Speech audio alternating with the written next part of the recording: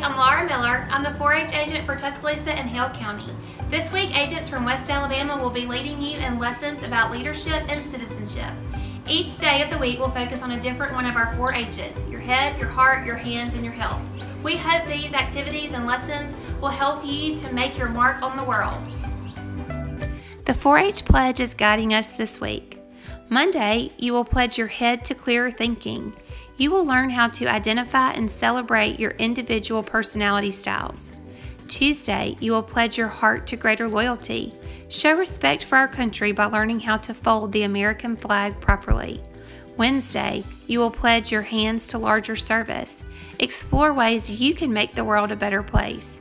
Thursday, you will pledge your health to better living for your club, your community, your country, and your world.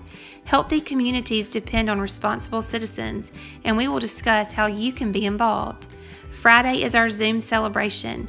We can't wait to see you and hear what great ideas you have for us. Leadership means different things to different people. Here's a message from one of our state ambassadors. Hello, my name is Brawley Newman and I'm an Alabama 4-H State Ambassador. 4-H has given me many opportunities such as Livestock Club, Quiz Bowl and Skillathon, Animal Science Projects, Leadership Club, Midwinter, SRTLC, and becoming an Alabama State Ambassador. Each of these have taught me many things and have improved my socialization skills, my leadership skills, and have made me into the leader I am today. This should be a fun week of learning.